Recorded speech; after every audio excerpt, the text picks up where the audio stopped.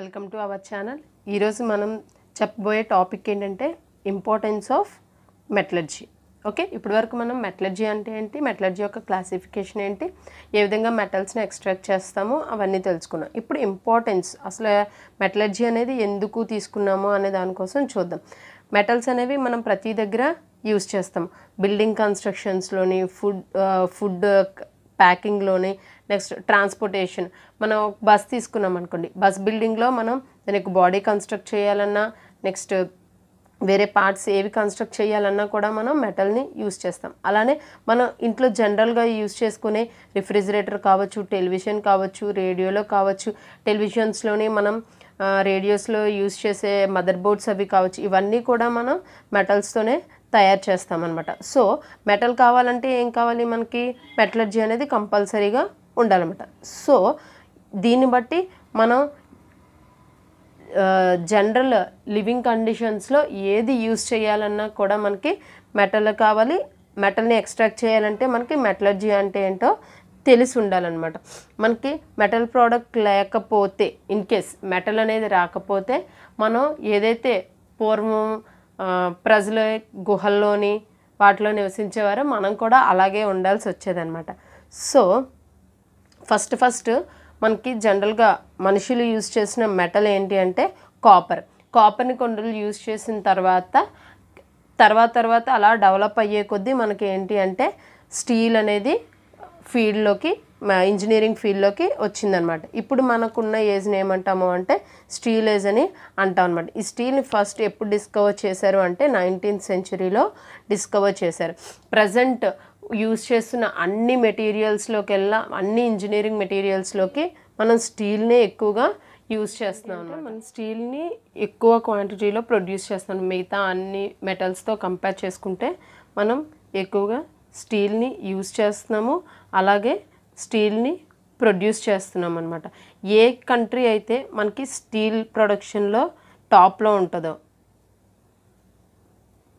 ఏ country అయితే steel ప్రొడక్షన్లో టాప్లో ఉంటుందో మనకి ఆ కంట్రీ మనకి ఎకనామికల్గా టాప్లో ఉంటుంది అనమాట సో ఇక్కడ ఏంటి అంటే ఇక్కడ దీని మీనింగ్ ఏంటి అంటే ఏ కంట్రీలో అయితే స్టీల్ ఎక్కువగా ప్రొడ్యూస్ అవుతుందో ఆ కంట్రీలో ఫైనాన్షియల్గా మనకి ప్రాఫిట్స్ ఎక్కువగా ఉంటాయి అన్నమాట ఓకేనా? ఇందులో ఏంటి అంటే మనం ఇలా డే బై డే అవుతున్న కొద్దీ మనకి టెక్నాలజీలో డెవలప్ వస్తుంది. అలాగే మన డిఫరెంట్ డిఫరెంట్ రీసెర్చెస్ వల్ల ఏంటి అంటే మెటల్స్ని మిక్స్ చేయడం వల్ల అలోస్ ప్రొడ్యూస్ చేయడం వల్ల వీటి వల్ల మనకి ఈ స్టీల్ ప్రొడక్షన్ కాపర్లో మన మనకి ఇంకా ఎక్కువ వాటి యొక్క ప్రాపర్టీస్ని ఇంప్రూవ్ చేయడానికి మనకి ఇంకా రీసెర్చెస్ అనేవి జరుగుతూ ఉన్నాయి నెక్స్ట్ మనకి మెటలర్జీ అండ్ ఇంజనీరింగ్ అంటే మెటలర్జీకి ఇంజనీరింగ్కి ఉన్న రిలేషన్ ఏంటి? ఫర్ ఎగ్జాంపుల్ మనం ఒక కాంపోనెంట్ని తయారు చేయాలి అనుకున్నప్పుడు ఫస్ట్ మనం ఏం చేస్తాము అంటే దాని యొక్క డిజైన్ని ప్రిపేర్ చేసుకుంటాం. డిజైన్ని ప్రిపేర్ చేసుకున్న తర్వాత దాని యొక్క వర్కింగ్ కండిషన్ ఏంటి అని చూస్తాం.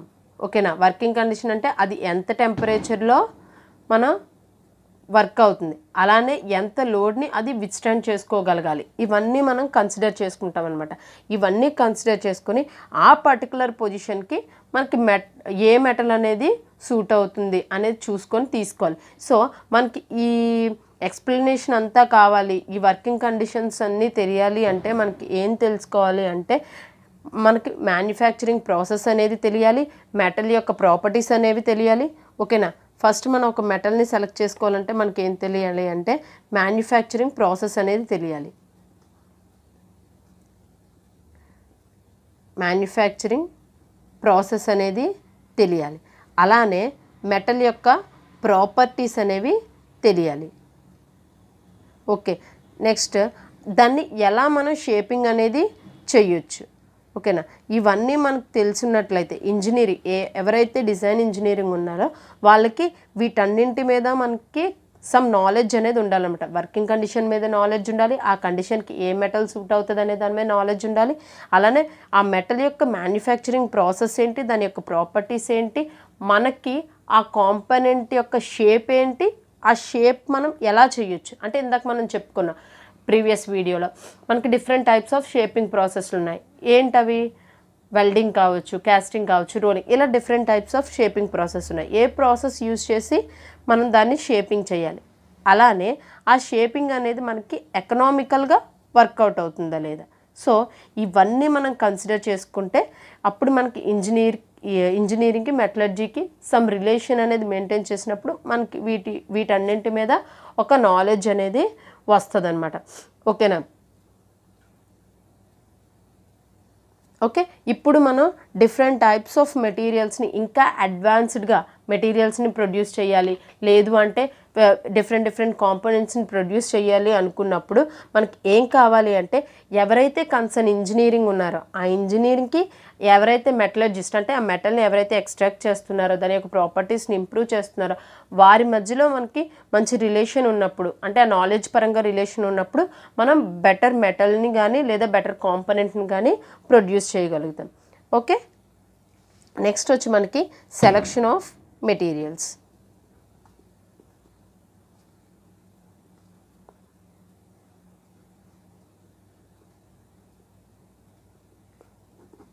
Selection of materials selection of materials ఏంటి అంటే ఇందాక చెప్పినట్లుగా మనం ఒక కాంపనెంట్ని మ్యానుఫ్యాక్చర్ చేయాలి అనుకున్న ఫస్ట్ ఏంటి అంటే మనం ఆ మెటల్ని సెలెక్ట్ చేసుకోవాలి. ఏ మెటల్ అయితే మనకి పర్ఫెక్ట్గా ఉంటుంది మనకు కావాల్సిన ప్రాపర్టీస్ని ఏ మెటల్ ఇవ్వగలదు అనేది చూసుకొని ఆ మెటల్ని మనం తీసుకోవాలన్నమాట. ఇక్కడ మనకి సమ్ ఫ్యాక్టర్స్ అనేవి కన్సిడర్ చేసుకుంటాం.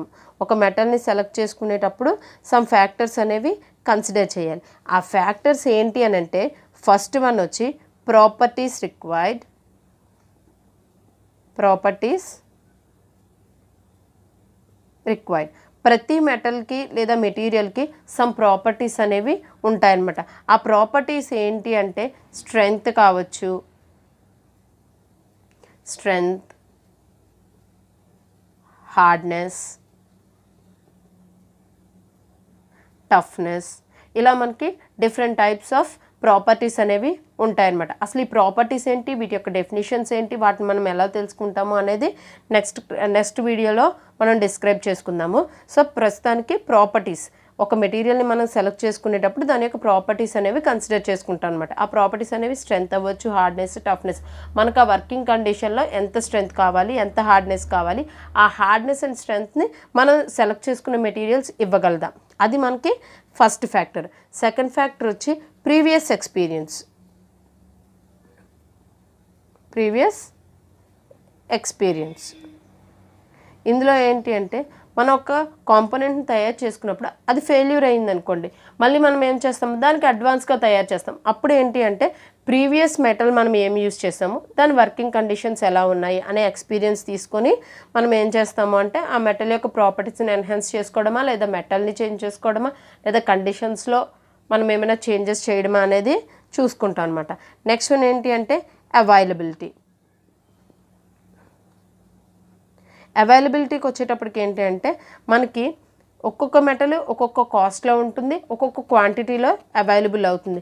ఫర్ ఎగ్జాంపుల్ మనం స్టీల్ తీసుకున్నాం అనుకోండి లార్జ్ క్వాంటిటీస్లో అవైలబుల్లో ఉంటుంది. కాపర్ తీసుకున్నాం అనుకోండి స్టీల్తో కంపేర్ చేసుకుంటే స్మాల్ క్వాంటిటీస్లో అవై అవైలబుల్లో ఉంటుంది అలాగనే కాస్ట్ ఎక్కువ. సో ఆ అవైలబిలిటీ ఏదైతే ఉందో దాన్ని కూడా చూసుకొని మనం మెటల్ని సెలెక్ట్ చేసుకుంటాం అనమాట ఫోర్త్ వన్ వచ్చి కాస్ట్. మనం అనుకున్న ప్రోడక్ట్ని అనుకున్న కాస్ట్లో తయారు చేయాలి అంటే ఈ మెటల్ని సెలెక్ట్ చేసుకోవడంలో కూడా ఉంటుందన్నమాట. మనం లో కాస్ట్ మెటల్ని సెలెక్ట్ చేసుకున్నాం అనుకోండి తక్కువ కాస్ట్ అవుతుంది మనకు మన ప్రోడక్ట్ని మ్యానుఫ్యాక్చర్ చేయడానికి. అలా లేకుండా మనకు మెటీరియల్ యొక్క కాస్ట్ ఎక్కువైపోయింది అనుకోండి సో ఫైనల్గా ప్రోడక్ట్ యొక్క కాస్ట్ అనేది ఎక్కువైపోతుంది అనమాట నెక్స్ట్ వచ్చి ప్రాసెసింగ్ మెథడ్